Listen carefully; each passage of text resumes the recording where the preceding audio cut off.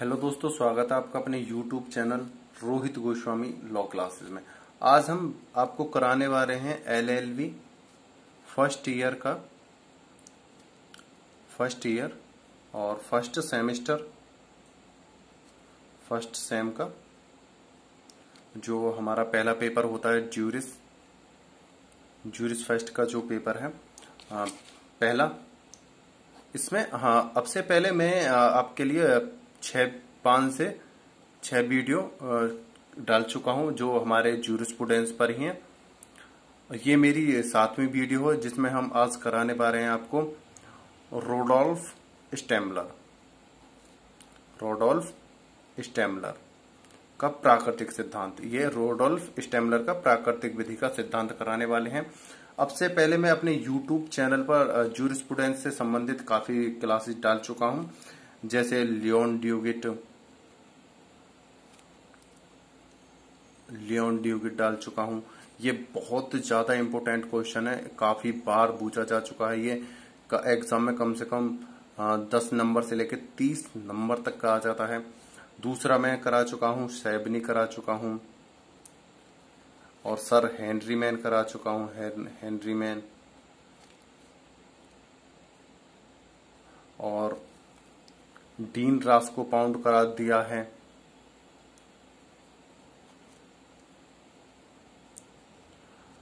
और एक हमने अभी कराया था, इससे पहली वीडियो थी हमारी, वो जो कैल्सन का मूल मानक सिद्धांत।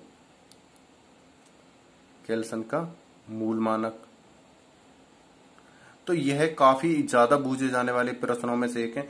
आज अब तक मैं जितने प्रश्न करा रहा हूँ, जितने क्वेश्चन आपको मैं करा चुका हूँ, ये ज़्यादा सारे के सारे इम्पोर्टेंट हैं। मैं आपको एक बार फिर बताई दे रहा हूँ कि मैं आपको ट्वेल्व क्वेश्चन कराने वाला हूँ ट्वेल्व ट्वेल्थ जूरिस्पिडेंस के अंदर। जूरिस के अंदर आपको बारह क्वेश्चन कराने वाला हूँ मैं। और बारह में से मेरी आपसे वादा है, आपके हंड्रेड में से हंड्रेड नंबर का पेपर फंसने वाला है। एक भी नंबर का out out out of side नहीं जाएगा। सारा का सारा पेपर हमारे इन्हीं बारह क्वेश्चनों में से आने वाला है। ये स्वयं बनाए हुए नोट्स हैं। एक भी आपका प्रेशन पाँच नंबर का भी आपका आउट नहीं जाने वाला है। हंड्रेड टू हंड्रेड आपके फंसने वाले हैं। लेकिन आपसे इतनी रिक्वेस्ट है कि हमारी सभी वीडियो को देखिएगा।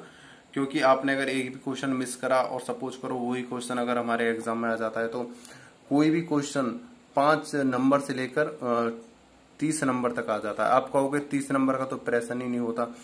होता क्या है कभी कभार प्रेशन पाँच नंबर में भी आ जाता है ट्वेंटी में भी आ जाता है, कभी टेन में आ जाता है, कभी ट्वेंटी में भी आ जाता है। तो इस प्रकार यह है हमारे अक्षर क्वेश्चन अब फंस जाते हैं ऐसे। और ट्वेंटी का तो होता ही है लॉन्ग क्वेश्चन तो आपसे रिक्वेस्ट है कि इस वीडियो को जरा भी स्किप्ट नहीं करिएगा, जरा भी इधर से उधर न छोड़िएगा ना, काट कर ना देखिए। क्योंकि आपका पूरा क्वेश्चन खराब हो जाएगा। पूरी आपकी मेहनत बेकार हो जाएगी। और आप एक रजिस्टर ले लीजिएगा, उसमें अपना ये नोट्स बनाते रहिएगा। अपनी लैंग्वेज में अपने साफ़ साफ़ नोट्स इसे रोक रोक के अपने नोट्स बना लीजिएगा। और आपसे फिर कह रहा हूँ, ये बहुत ज़्यादा इंपॉर्टेंट है। वीडियो देखने से पहले अगर आपने हमारे चैनल को अभी लाइक शेयर एंड सब्सक्राइब नहीं किया तो प्लीज़ लाइक शेयर और सब्सक्राइब कर दीजिएगा। और चलते हैं आगे अपनी वीडियो पे। देखते हैं प्राकृतिक विधि। प्राकृतिक विधि। रोडोल्फ स्टेमलर, नव कांटवादी सिद्धांत के समर्थक। रोडोल्फ स्टेमलर के विधि संबंधी विचारों का वर्णन कीजिए। कभी कभार हमारे पाँच नंबर में यह आ जाता है कि नव कांट सिद्धांत के नव कांटवादी सिद्धांत पर व्याख्या करो या टिप्पणी लिखो। इतना ही आ जाता है कभी कभार नव कांटवादी सिद्धांत पर टिप्पणी करो। तो ये हमारे पाँच नंबर, दस नंबर में आ जाता है। इस चीज़ को नोट कर लेना।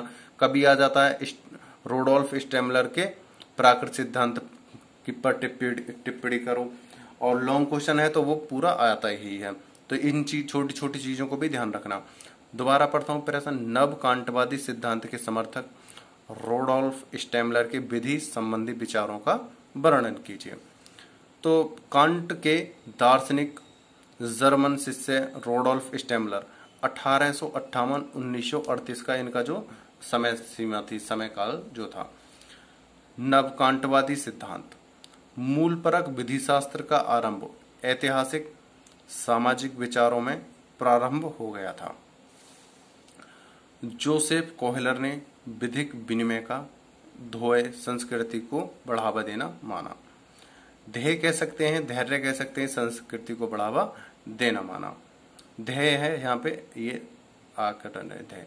परंतु यह पूर्णता, सापेक्ष विचार व्यक्त किया कि संस्कृति के प्रति, प्रतिबद्ध विधि के लिए नैतिक मूल्यों का सम्मान आवश्यक है। नवीन प्राकृतिक विधि दर्शन।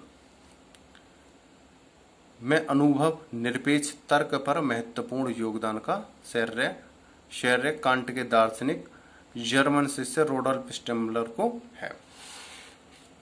स्टेम्बलर कांट से यह यहाँ तक सहमत थे, जो स्टेमलर थे, कांट से यहाँ तक सहमत थे कि दृश्य की पहचान मानव अनुभूति द्वारा अनुभव निरपेक्ष श्रेणियों और रूपों में वास्तविकता के निरीक्षण के बिना प्राप्त हो सकती है। ये कहते थे कि ये स्टेमलर जो थे, कांट से इतने प्रभावित थे। कहते थे, देखो दोबारा देखते हैं। स्टेमलर कांट से यहाँ तक सहमत थे कि दृश्य की पहचान मानव अनुभूति द्वारा अनुभव, निरपेक्ष श्रेणियों और रूपों में वास्तविकता के निरीक्षण के बिना प्राप्त हो सकती है। आगे चलते हैं अपने प्रश्न पे। जरा भी काट, काटिएगा ना वीडियो? नहीं, आपका पूरा का पूरा लॉन्ग क्वेश्चन आपकी मेहनत खराब हो जाएगी। तो देखिए आगे क्या कह रहा है ये। परंतु स्टेमलर कांट से इस मामले में अलग हो जाते हैं कि उन्होंने विधि के विचारों को दो तत्वों में बांट दिया है। इन्होंने अपने विचारों को दो तत्वों में बांट दिया है। पहला है विधि की संकल्पना। विधि का, दूसरा है विधि का विचार। कांट द्वारा दी गई विधि की परिभाषा। अक्सर हमारे एग्ज़ाम में यह भी आ जाता है, कांट की परिभाषा दीजिए। पाँच नंबर में आ जाती है कांट की परिभाषा। तो इस चीज़ को नोट कर लीजिएगा, बहुत वेरी इंपॉर्टेंट है। कांट की परिभाषा बूझी जा सकती है। तो पढ़ते हैं आगे। यह उन दशाओं का समुच्चय है, जिसमें एक ही स्वतंत्रता को दूसरे की स्वतंत्रता के साथ संतुलित किया जा सकता है। यह है कांट की परिभाषा, जो अक्सर हमारे पाँच नंबर में आ जाती है और हमारे लॉन्ग क्वेश्चन में तो हमें लिखनी ही होती है। स्टेमलर ने इसे त्रुटिपूर्ण माना है, क्योंकि यह ठीक या उचित विधि के साथ, विधि की संकल्पना का भ्रम उत्पन्न करता है। विधि की संकल्पना। विधि की परिभाषा के अंतर्गत मानव इतिहास में प्राप्त विधि के सभी अनुभव और प्रारूप सम्मिलित हैं। उनके अनुसार यह विस्तृत, विस्तृतम परिभाषा इस फॉर्मूले पर आधारित है कि विधि अनुलंघनीय और स्वेच्छाचारी सामूहिक इच्छा है। इसमें कोई, इसमें कई अन्य तत्व शामिल हैं, जैसे विधि, सामूहिक इच्छा है, अतः यह सामाजिक जीवन का प्रतिबिंब है। आगे चलते हैं। दूसरा क्या कहता है कि यह सामाजिक सहयोग का औज़ार है। मात्र अपनी इच्छा पूर्ति का नहीं। तीसरे नंबर पर विधि सामूहिक इच्छा की अभिव्यक्ति है, जो स्वेच्छाचारी और संप्रभु है। अतः एक बार निर्मित होने के बाद उसे आवश्यक बल मिल जाता है। आगे चलते हैं, चौथे नंबर पे क्या कहता है? विधि के नियम में अनुलंघनीयता का तत्व होता है। इस तरह विधि नागरिकों और विधि निर्माताओं दोनों पर बाध्यकारी होती है। दूसरे नंबर पे कहता है कि विधि का विचार। विधि का विचार न्याय की अनुभूति होती है। देश काल की दशाओं में संभवपूर्ण सामाजिक जीवन में समानता का विधि, प्रयास, न्याय का मूल सिद्धांत है। सामाजिक उद्देश्यों के साथ व्यक्तिगत इच्छाओं का समायोजन कर इस प्रकार की समानता कायम की जा सकती है।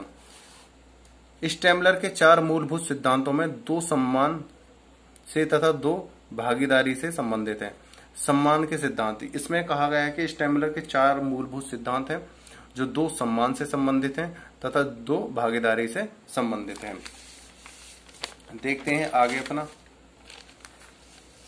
पहले जो है, सम्मान से जो संबंधित है हमारे, व्यक्ति की स्वेच्छा की अंतर्वस्तु, दूसरे की निरंकुश इच्छा पर आधारित नहीं होनी चाहिए। प्रत्येक विधि, मांग इस तरह कायम रखी जाएगी कि बाध्य व्यक्ति सह प्राणी बना रहे। भागीदारी संबंधी सिद्धांत, ये जो दूसरा इनका सिद्धांत है, भागीदारी संबंधी सिद्धांत विधिता बाध्य व्यक्ति को निरंकुश तरीके से समुदाय से बहिष्कृत नहीं किया जाना चाहिए। इसमें कहा गया है, देखिए दोबारा पढ़िए विधिता बाध्य व्यक्ति को निरंकुश तरीके से समुदाय से बहिष्कृत नहीं किया जाना चाहिए। दूसरे नंबर पर क्या कहा है, निर्णय की प्रत्येक विधिक शक्ति इससे प्रभावित व्यक्ति को समुदाय से केवल इस सीमा तक बहिष्कृत कर सकती है कि वह सह प्राणी रह जाए। दूसरे शब्दों में वह अपना आत्मसम्मान बनाए रखे। स्टेमलर की प्राकृतिक विधि की व्याख्या में कांट की व्याख्या की अपेक्षा दो सुधार हैं। प्रथम, स्वतंत्र व्यक्तियों की जगह व्यक्तियों के समुदाय की बात करने के कारण स्टेमलर की व्याख्या कम व्यक्तिवादी है। द्वितीय, प्राकृतिक विधि की व्याख्या में सकारात्मक विधि के लिए ज़्यादा विभिन्नता की गुंजाइश है। आगे है हमारा पेज नंबर पाँच पे। स्टेमलर ने स्वयं स्पष्ट किया है कि केवल एक विधि का नियम नहीं है कि जिसकी सकारात्मक अंतर्वस्तु को पूर्व से निश्चित किया जाए।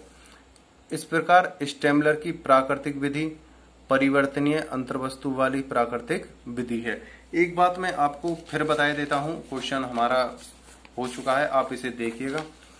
आप ज्यूरिस का एक नियम है ज्यूरिस को जब हम पढ़ते हैं ज्यूरिस्प्रूडेंस को हम जब पढ़ते हैं, हमारा विधि शास्त्र जो होता है, अगर हम इसको जरा भी इधर से उधर करते हैं, अगर हम कोई क्वेश्चन याद कर रहे हैं अगर हमने जरा भी इधर से उधर इसे छोड़ दिया या हमने इसे अपने मन से नहीं पढ़ा एक पहले, अगर ये हमें पहली या दूसरी बार में अगर हमने इसे मन से पढ़ लिया तो तो ये हमारी समझ में आ जाएगा।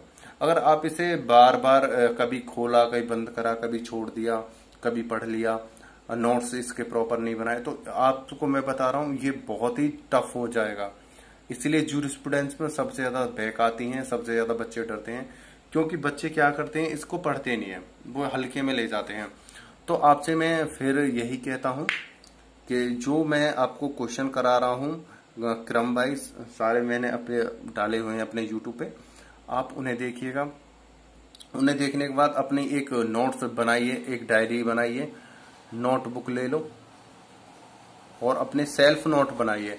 मेरे द्वारा वीडियो देख के अपने सेल्फ नोट बनाओ और उनको उतारो। उतारने के बाद इसको तैयार करो। और पहली और दूसरी बार इसे बहुत ही आसान तरीके से, हौले हौले हौले हौले इसे याद करो।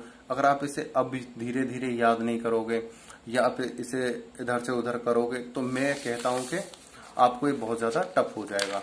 जूर स्टूडेंट्स में इसी वजह से बैक आती हैं। तो मैं आपसे फिर कह रहा हूँ कि वीडियो को कंटिन्यू देखिए नोट्स बनाइए और एक से दो बार इसे लगातार पढ़िएगा। अगर आपको हमारी वीडियो अच्छी लगी हो तो प्लीज़ हमारे चैनल को लाइक, शेयर एंड सब्सक्राइब कीजिएगा। और वीडियो देखने के लिए टेक केयर। धन्यवाद, सॉरी। वीडियो देखने के लिए धन्यवाद और टेक केयर बाय बाय